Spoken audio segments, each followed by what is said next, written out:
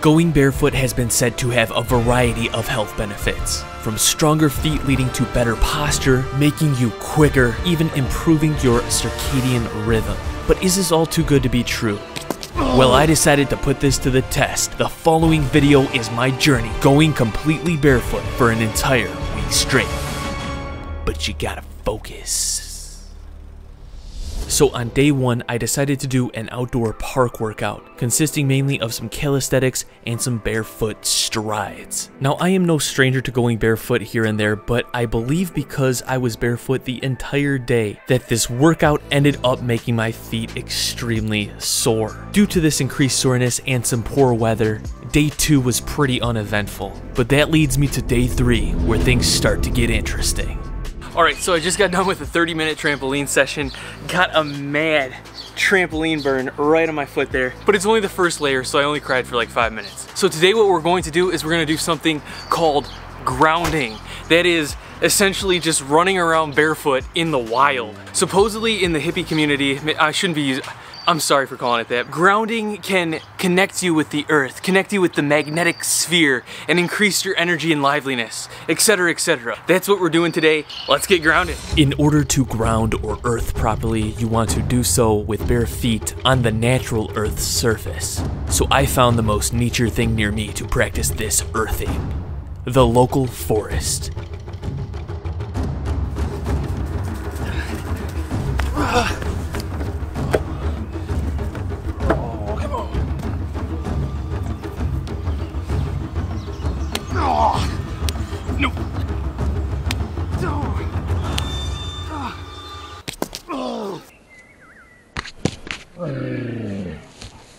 Ow! This is uncharted territory, boys. It's amazing how much more vulnerable you feel when you walk in pure nature with bare feet. But this kind of vulnerability is what is supposed to make you strong. Ah, termites. Frick. With each step required complete awareness and control of my entire body as I navigated through nature. This felt completely different than your normal run. Muscles that I never felt work before being worked in the foot, calves, and ankles, as well as a gritty mental mindset to continue with each and every step. Ah. So if you guys have seen some of my earlier videos, you guys know I often run outside barefoot, but that's just mainly like strides and like a tricking session. But when it comes to like distance running, this was very interesting running a total of two miles. You could see how that would strengthen your feet if you did that over time. Other than that though, my feet held up pretty well. The balls of my feet are extremely sore. No cuts or anything like that, maybe one sliver. I think I'm gonna call it a day in the wild and go home and take a shower.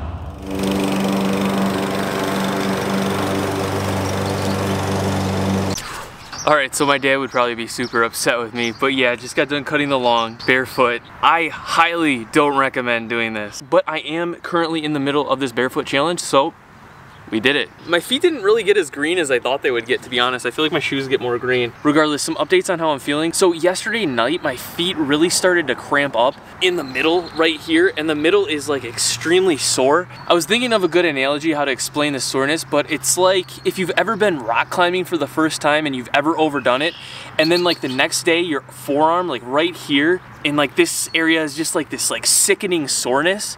It's literally like that same feeling on the bottom of my feet. It's just kind of like, ugh. So I don't know if you noticed, but when I was cutting the lawn, I was kind of more heel striking to avoid that soreness essentially.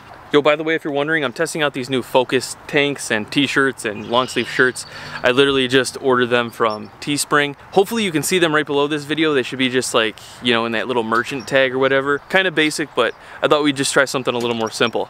Only if you're interested. Oh man, I think we got a new sliver. My soft, infantilized, neutered feet were still getting used to the unpredictable train of the unforgiving earth. No, but for real, even with daily cleanings like this, my feet were getting pretty banged up from this process. However, I noticed a little more ruggedness and toughness developing on my feet by the end of day 4, which I hoped would eventually make my feet immortal to the mutinies of this behemoth rock we call planet Earth. Got him? Oh man, my feet are so nasty. Look at this, guys. All right, I'm gonna finish cleaning these off and then I'm gonna shower up.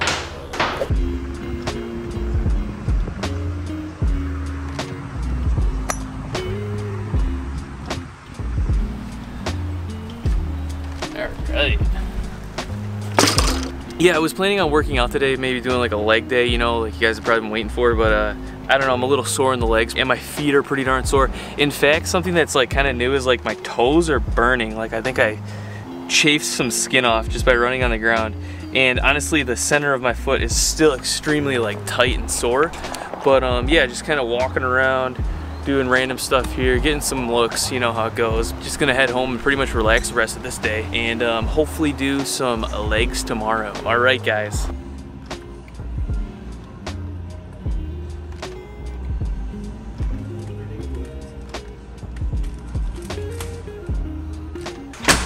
Alright guys, so we just got back from the store. Quite the day, but there's something I should probably disclose to you guys, alright? I, I, I, was barefoot in the store for about a second. For, for the majority of the store trip, I was wearing these which are essentially just socks with like rubber grips on the bottom. So I actually specifically bought these for this experiment because I knew I'd probably have to go to the store or maybe even the gym and I still wanted to have that that those barefoot benefits. You know, if you go in the store with barefoot or the gym, at least where I go, you're gonna get kicked out because, you know, it's like no shirt, no shoes, no service. So I wore these, you know, to go into the store. I just took them off for a second. With that being said, I really haven't had to use these until like now. And honestly, these feel worse than the bare feet do. Maybe it's because over these past almost six days now, I've gotten so used to like walking on my bare feet. Like it just feels like more natural now, even though my toes feel like they're literally burned off on the bottom. I, I don't know, just I feel like a more natural stride. And when I put these on, for some reason, like the rubber, it didn't feel right. So I don't know if it's gonna feel weird when I put shoes on again, or maybe if it's just these. But um, yeah, these feel super weird and they look super weird too. So yeah. Anyways, literally now it's gonna be here, just gonna relax with my lovely wife right here. See you guys in a bit.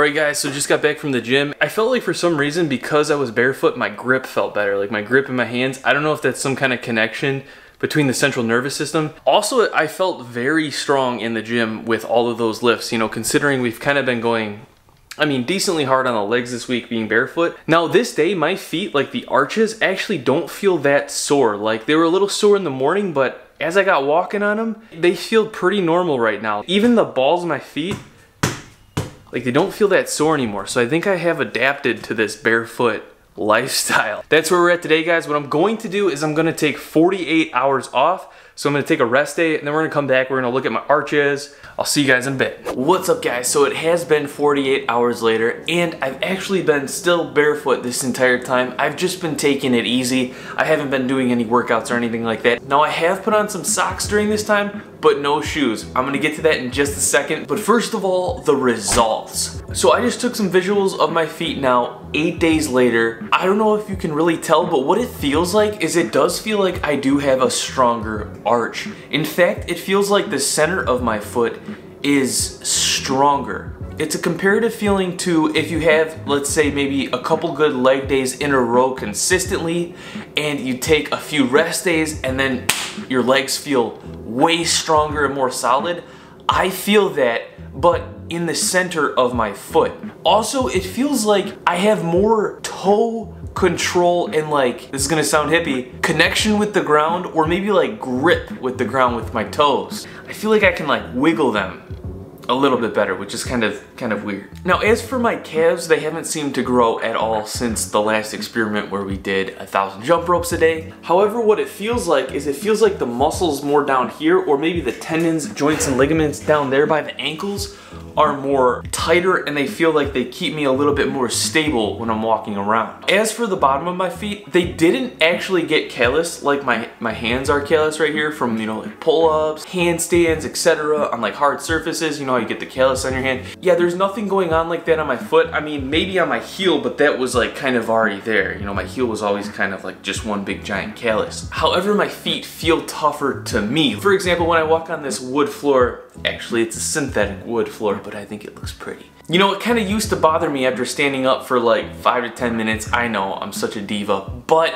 now I feel like like I just can stand on it for a longer period of time without even thinking about it, like without even getting uncomfortable. I feel like I have more endurance on the bottom of my feet when it comes to being able to stand on a harder surface. Okay, now some things to note that I experienced throughout this experiment. First of all, one thing that's kind of interesting to talk about is circadian rhythm. That's like when you get up, go to sleep. Now, apparently, grounding or earthing, walking barefoot on true nature or on true earth, not man-made synthetic surfaces can help one's circadian rhythm, help them wake up at the right time and go to bed at the right time. One thing I have to do say, I did feel like I had good sleep this week. I had no days where I was lying there and trying to sleep and it, you know, I was just sitting there for like two or three hours like eyes wide open. Now that's all I can really say. I don't know if it was due to the barefoot thing or not. It wasn't super drastic, but I have to say this week I did sleep extremely well. So taking away those shoes for a week did seem to strengthen my feet, make me more grounded, help me experience nature, potentially improve my circadian rhythm, make the bottom of my feet stronger, potentially give me more control with my toes, get me more connected with the ground beneath me. But with that being said, we're gonna put some shoes on right now and try them out for the first time in eight days. Let's see how this feels. Socks feel nice. I've got Asics Novablast. Oh, Oh wow, I feel taller. that's like the first thing is I feel like way taller. Oh wow, that's soft. So I'm not gonna lie, these shoes feel pretty nice and fluffy. With that being said, I hope you all enjoyed this video. If you're interested in my bodyweight training program, Bodyweight Beast 2.0, check out onlykindsfitness.com. 12 week program, get in shape over the summer. It's never too late to start. This would actually be a great time to start, in fact, you know, summer's here. Thank you all so much for watching this video. Don't forget to subscribe, turn those notifications on. I have more videos coming out. I hope you all have a great day. Peace. I will see you all in the next video.